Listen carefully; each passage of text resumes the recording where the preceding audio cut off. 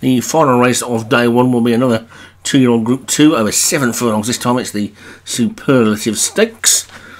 And at the top we've got Earthship for Leon Van Rensburg. Elephant Tusk for Michael Scala. Eliodoro Yanes, Darren Thompson. King of Spin, Michael Scala. Mosterdaff for Dan Hughes, Spares Origin for CDJ Liggett, Fast Pick David Hooley, Coyoso Killer Vinnie Gerard, Lady Grace Obi-Wan and Skerry's Gummy for James Shea.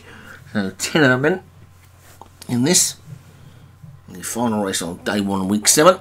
Uh, And away they go. A little bit slow out was the Darren Thompson horse, but it didn't stop it in the last race, did it? And it's Earthship who's gone on then into the early lead, but immediately collared by three or four of. An Elephant Tusk and Lady Grace have gone through, and now Lady Grace has come through to take it up, pulling for its head is Elephant Tusk. The slow starting Eliodoro Yanes is now moved through into second, and they're already quite well strung out. Fast Pick is in fourth, then a bit of a gap to Mosterdaff and King of Spin, and then Skerry's Gummies, but it's Lady Grace who's clear by two at the moment from Eliodoro Yanes in second. Then Elephant Tusk is third. Fast pick up the centre of the track is fourth. Back on the rail, Mosterdaff in the blue jacket is fifth. Then comes the second, Michael Scala horse, King of Spin. Then after that one is Skerry's Gummies. Earthship's lost its place. Spares Origin also towards the back. Cosso Killer the Grey is last. The Leon Van Rensburg horse is cutting its way through the pack like a knife through butter at the moment. That's Earthship, but it's still Lady Grace in the lead. Lady Grace leads from Elephant Tusk in second. Then Fast Pick. Then Mosterdaff and Eliodoro Yanes. Now suddenly Earthship stopped making so much ground up. Skerry's Gummies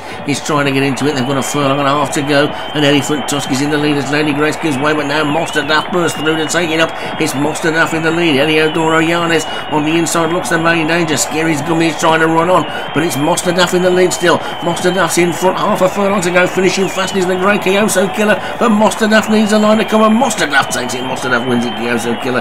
Eliodoro Yanes then Spares Origin ran a big race as well. Lady Grace dropped out of it, and Mosterdaff has thrown in a decent performance there to hang on from Kioso Killer and Eliodoro Yanes. And Mosterdaff takes it for Dan Hughes. Kioso Killer for Vinnie Gerard second. Eliodoro Yanes, Darren Thompson was third. A fast pick, David Hooley fourth.